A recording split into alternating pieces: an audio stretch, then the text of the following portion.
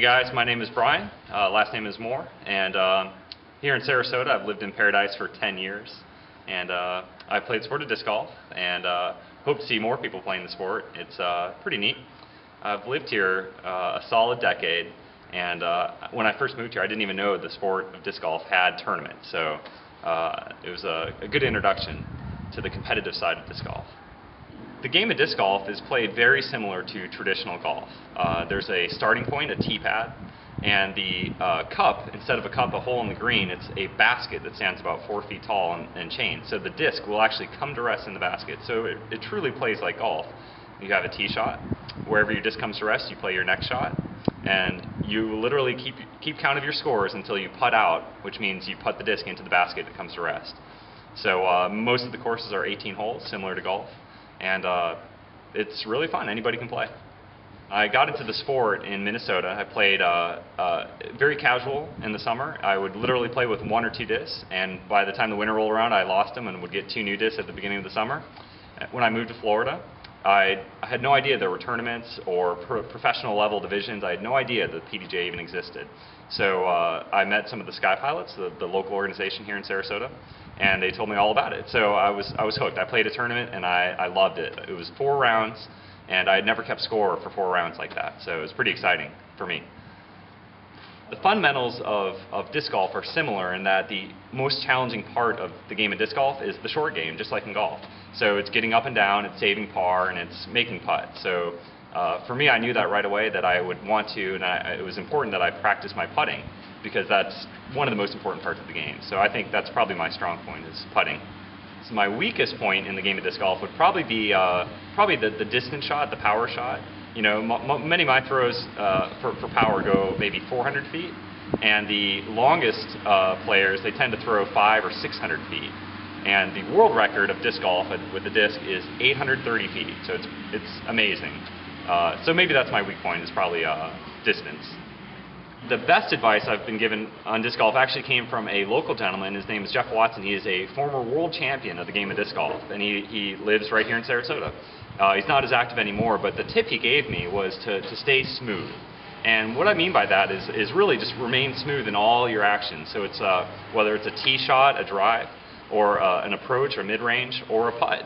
It's uh, staying smooth and staying balanced, and anybody can have fun at the game if they try to stay smooth. I'm very lucky to have my dad, who is uh, now become an active player. He plays disc golf once or twice a week, and uh, for the last couple years, he has been my caddy. And one of my good friends, who is also a pro level player, he branded the name Cadaddy, and it stuck. So, so he's um, he's a high rated caddy, and he's also my daddy. So thus the Cadaddy, and it's great. I'm excited to see him play the game of disc golf, and he's the best way I can say it, he's putted for five years, but now he's playing disc golf. So, and he's uh, he's gotten really good. He's improved his game overall. He he has a good drive, a good good approach, and he's uh, definitely a recreational player, but he is a good player. I'm excited to tell you about my overseas trip. It's uh, my dad and I are going to be going to Northern Europe, so Scandinavia, Finland, Sweden, and Norway, and we're going to be competing. I'll be competing at the European Open, which is the biggest tournament in Europe. It's a PDGA major. Uh, and it's it's a four-day tournament, and it takes place in a small town outside of Helsinki, Finland. So uh, we're really excited to play a European tournament. I played last year the Swiss Open, and it was amazing to play with a group of players, and each one of our guys was from a different country. So it was very special to play an international tournament like that the sport of disc golf really was founded in the 70s. Uh, the, the, to go back a step, the, the frisbee that we all know and love, the beach frisbee that we play catch with, was designed in 1954. And uh, it's great. You, the company Wham-O, a lot of us are familiar with, that make toys. They, they actually made the frisbee, so they had the patent on it. And uh, it was a gentleman named Ed Headrick in 1973, I believe. He designed a disc golf basket, and that's the target that we all know and, and use today.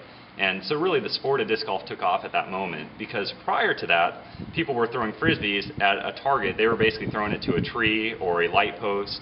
So the sport really evolved when the basket was created because now it gave players, you know, the, the, the feeling of sinking a putt, literally, you know, making a putt into the chain. So, and that was in the 70s. The sport's grown rapidly ever since.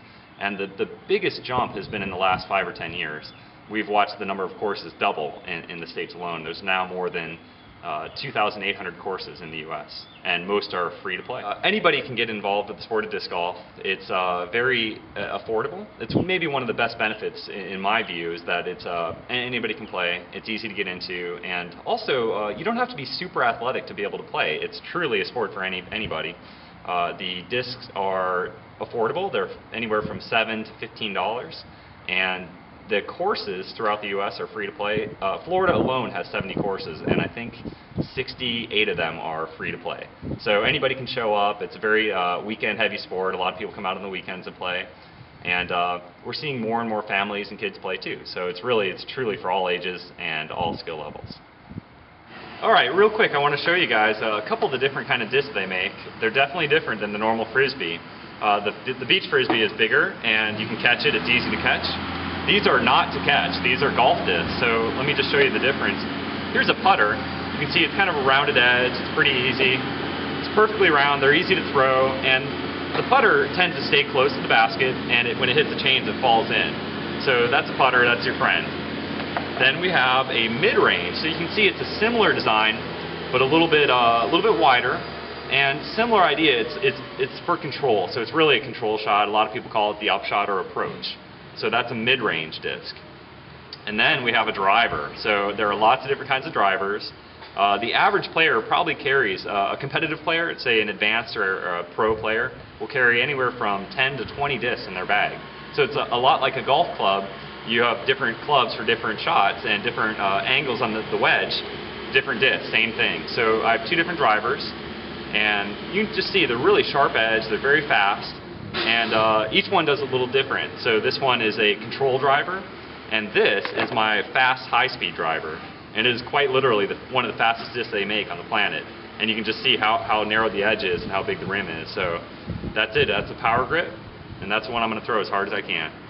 The future of disc golf is, is exciting. Uh, we've seen the rapid growth over the last few years. Uh, in, in part because of the, the, number of courses that are going in the ground. So it's becoming more accessible to people, and I think that's important. Uh, a lot of the, uh, the, the most successful models have a lot of entry-level nine-hole courses, and then several of the big 18-hole championship courses. And the, the most popular communities are a little bit bigger markets, like Tampa, Pinellas County has I think 10 disc golf courses.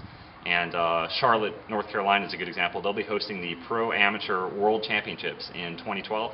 They will literally have 15 championship courses in, in the city limits of Charlotte. So it's pretty amazing.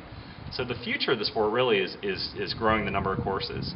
And, uh, and with the growth, the recreational players come. So they estimate already that there's several million people that play recreational. And then the, uh, for, I think for me personally, I, I definitely see um, growing a, a, development side of the, the game, which is going to be a combination of promotion, but also like teaching kids and showing kids how to play.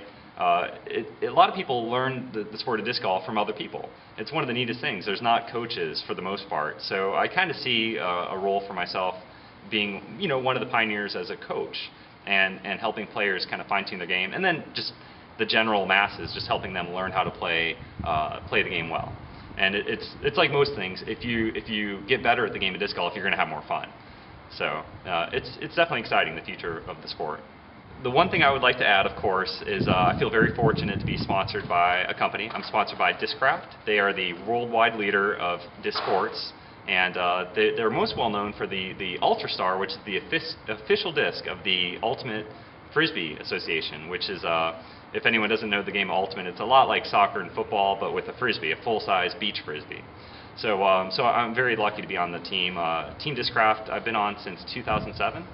So uh, it does mean I throw only Discraft discs, but uh, you know, there's a lot of great companies out there, but I, I do uh, do feel very lucky to be on that team. So thank you, Discraft.